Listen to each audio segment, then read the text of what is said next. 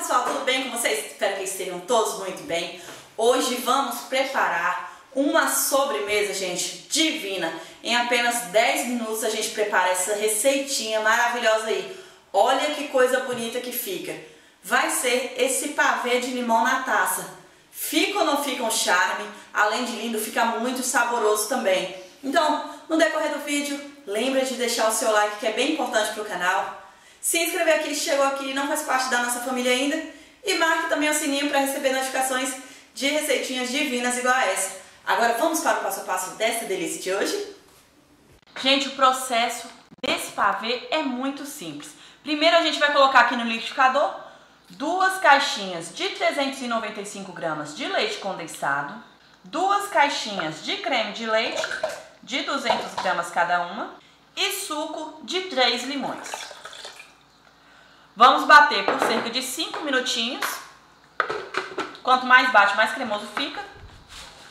Aqui eu tenho uma taça de acrílico de 1 litro e 200, que é descartável. Se você for fazer para vender, você pode entregar para o cliente sem problemas. Vou colocar uma camada do nosso mousse aqui. Olha só como é que ele fica bem grosso. Aqui eu tenho 100 gramas de bolacha de maisena, uns 200 ml de leite. E aí eu vou fazer o seguinte, eu vou molhar a bolacha aqui, ó. Vai molhando aos poucos, a que você vai usando. Volto com a minha taça, dou uma quebradinha na bolacha e vou espalhando aqui em cima do nosso mousse. Como você chama isso? Você chama bolacha ou você chama de biscoito, gente? Tem gente que chama de biscoito de maisena, né? E agora a gente vai fazendo as camadas aqui do nosso pavê. Coloco novamente mais um pouco do nosso mousse. Olha a cremosidade desse mousse, como fica, gente. E aí a gente vai alternando entre bolacha e mousse. A última camada a gente termina com o mousse e não com a bolacha, deixando um espacinho aqui na taça, mais ou menos dois dedos de altura, porque a gente vai finalizar ele com chantilly. Enquanto eu estava preparando aqui, meu chantilly já tinha dormido na geladeira e meia hora antes eu coloquei ele no congelador, porque quanto mais gelado ele tiver, mais rápido ele chega no ponto. Então aqui, ó, eu tenho uma caixinha de chantilly de 200 gramas, só que eu só vou usar a metade dela. Aí eu vou colocar aqui então, ó, 100 gramas do nosso chantilly na batedeira, juntamente com umas gotinhas de baunilha, só para dar um sabor aqui no nosso chantilly. Se você não quiser, não tem problema também. E aí agora a gente bate até ficar bem firme. Prontinho, gente. Olha só. Esse é o ponto do nosso chantilly. Super firme, ó.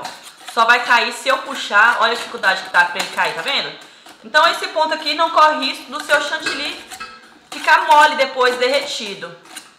Além de lindo, ele tá saboroso com o gosto da baunilha. Pego o meu pavê de volta da geladeira, espalho aqui, ó, por cima, com a colher mesmo, o nosso chantilly.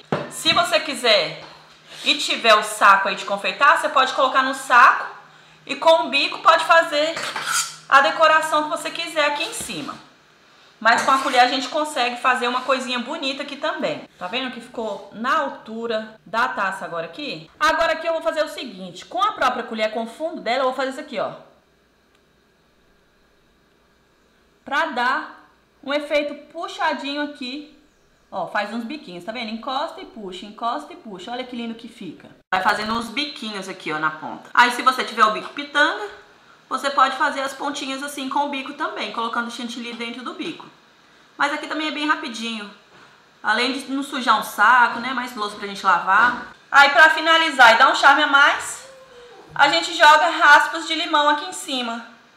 Olha que luxo essa sobremesa, gente. E aí a gente vai para a geladeira por pelo menos duas horas antes de servir essa maravilha, hein? Voltamos já. Depois de duas horinhas na parte de baixo da nossa geladeira, olha como está o nosso pavê. Agora, como sempre, a melhor hora é a hora de experimentar essa preciosidade aqui de hoje, hein? Essa taça, gente, vem até a tampinha, olha só. Se você fizer para vender e for entregar para alguém, é bem interessante. Deixa eu cortar aqui um pedacinho pra gente agora. Olha que luxo essa sobremesa aqui. Hum.